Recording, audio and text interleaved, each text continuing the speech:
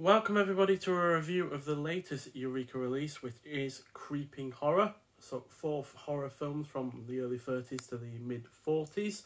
And uh, yeah, been looking forward to this for a very long time, ever since, quite frankly, since they announced it. And uh, yeah, this was supposed to be released on the 17th of April, so I'm not quite sure why I received it on the 8th of April, given that's, you know, more than a week before its official release, but still, really, really excited to get round to it. So that's why I watched all four films fairly immediately. And the first of which is from 1933, and that is Murders in the Zoo. So this is directed by A. Edward Sutherland, who also did The Invisible Woman, one of the sequels to The Invisible Man. And it clocks in at 62 minutes long, stars Charles Ruggles, who was also in The Invisible Woman, as well as Bringing Up Baby and Ramrod, as well as Lionel Atwill, who I've seen 11 films from before, which include The Hound of the Baskervilles from 1939, The Devil is a Woman, and five of the Frankenstein films, as well as Man Made Monster, which was in one of the previous Eureka horror releases. Uh, stars also Randolph Scott, who've seen nine films before, who was also in the likes of Buchanan Rides Alone, Decision at Sundown, and Ride the High Country. Went on to do numerous successful westerns in the 50s and 60s. And uh, yeah, it's about Dr. Gorman, who is a millionaire adventurer who traveling around the world in search of dan- who goes around traveling around the world in search of dangerous game. His bored, beautiful, much younger wife entertains herself in the arms of other men. In turn, Gorman uses his animals to keep, kill these men. Gorman, um, when in New York, when in New York City Zoo suggests a fundraising gala, Gorman sees a chance to uh, dispatch one of these dashing men and anyone else who might cross him. So, uh, yeah, this is on the whole an entertaining effort that is well paced while it doesn't outstay its welcome. The cast is also great. I love the setting of the titular uh, zoo. The animals are well used. It is predominantly engrossing. It has its funny scenes thanks to Charles Ruggles, who is a well known comic actor. And the finale is well executed while being rather poetic. So, uh, yeah, and it has a really rather quite violent scene at the beginning where one of the lovers of our lead actor's wife uh, gets his mouth sewn up, and you see his expression on his face when all of the sewing up has been done, and there's fair bit of blood around his mouth and all that lot. And it's yeah, quite graphic, and uh, yeah, it's quite a graphic kill scene at the end as well. So uh, yeah, on the whole, really rather quite impressed with that one. And then from 1942, we have Night Monster. So this is directed by Ford Beebe or Beebe, uh, I don't know how you say it really, but yeah, he directed The Invisible Man's Revenge, another sequel to The Invisible Man. Clocks in at 72 minutes long, so this is the longest film in this collection. Stars Ralph Morgan, who was also in Weird Woman, a film from the Inner Sanctum series, which again is another um, collection of films that Eureka released. Uh, also stars Don Porter, who was in She Wolf of London, 711 Ocean Drive, and The Turning Point, as well as Irene Hart Hervey, who was in Play Misty for Me, Destry Rides Again, The Count of Monte Cristo from 1934, and Manhandled, and in a supporting role, Fay Helm, who was in The Wolfman, Phantom Lady, and Calling Dr. Death, again, another film from the Inner Sanctum series. And this is about Kurt Ingston, who is a rich recluse who invites the doctors who left him a hopeless cripple to his desolate mansion in the swamps as one by one they meet their horrible deaths. So, uh, yeah, this is the longest of the four, like I said, but it is no less well paced because of that extra running time. And in fact, it gives it uh, the chance to have a more complex plot along with more compelling characterization. The setting is also great, be it either when the plot is taking place in the creepy house or the foggy ground surrounding it. The cast is rather good, it is engrossing, especially when it comes to its mystery element. The cinematography uh, is really rather well done.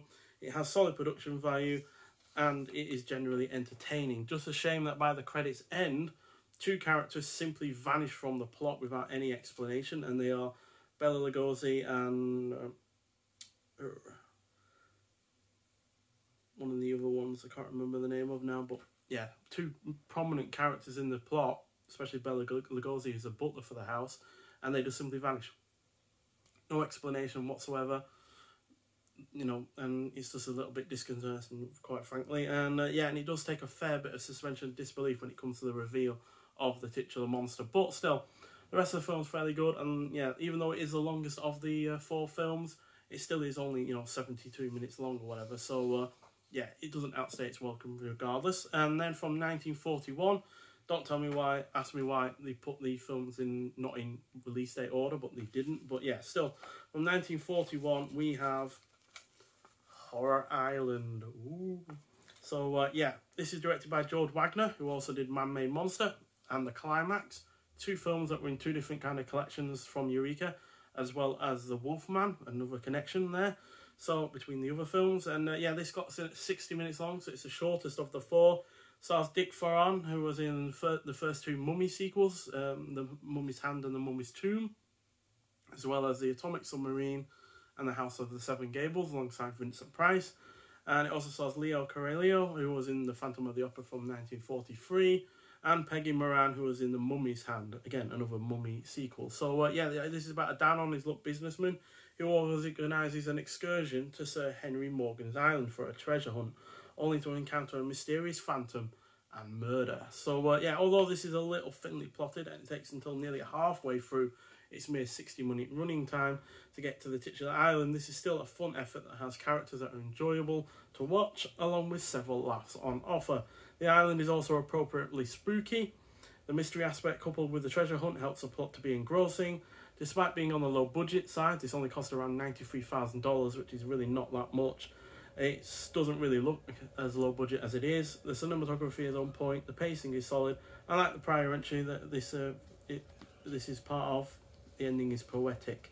Uh, I say the prior entry, but I'm talking in terms of Murders in the Zoo because I watched this in this uh, collection in terms of release date. So uh, yeah, so it's nothing remarkable, but for an hour of your time, you can do a lot worse than this. So, uh, yeah, and finally, from 1946, we have House of Horrors. So, uh, yeah, this is directed by Jean Yarbrough, who also did She-Wolf of London and The Devil Bat. This clock's in at 65 minutes long. Stars Rondo Hatton, who was in The Pearl of Death, uh, one of the Sherlock Holmes films, starring Basil Rathbone and Nigel Bruce. Also stars Ma Martin Kolesek, who was in The Mummy's Curse, She-Wolf of London, as well as the likes of 36 Hours, The Flesh Eaters, Pursuit to Algiers, again another Sherlock Holmes film, and The Frozen Ghost, one of the Inner Sanctum films again. And also stars Robert Lowry, who was in The Mummy's Ghost, as well as Virginia Grey, who was in The Naked Kiss, the first airport film, and Target Earth. So, uh, yeah, an unsuccessful sculptor saves a maddened man named the Creeper from drowning Seeing an opportunity for revenge, he tricks the psycho into murdering his critics. So, uh, yeah, this fourth and final film in this release is potentially my favourite of them all, which primarily comes down to the great cast, especially in terms of Hatton and Kolesek, while it is well paced and genuinely engrossing. The cinematography is also rather excellent. Hatton is, has a suitably menacing presence. The characterization of Kolesek's character is well done, it is entertaining and it is enjoyable watching the police try to solve the series of brutal murders. So, uh, yeah, it's not my favourite of the Eureka horror releases that they've done. They've done plenty of other ones, like the uh, Maniacal Mayhem release and um, the Boris Karloff at Columbia release and stuff like that. But it's still a solid effort. Three of the films I give three and a half out of five, uh, five so that's Murders at the, in the Zoo, um, Night Monster, and House of Horrors, and then I give Horror Island three stars out of five, which is yeah still not the highest rated that I've given any of these films in these collections before, but still you know they're still all perfectly watchable. And given that they're very short in length, you know like I said, the longest of the films is only seventy two minutes long, and the shortest is 60 minutes long. They're not so long that they get frustrating despite their flaws. So, uh, yeah, which is all well and good. And it's got a really nice booklet as well with it, which has a couple of shots from the film, as you can see. Uh, yeah, that's Rondo Hatton, by the way, on the back there.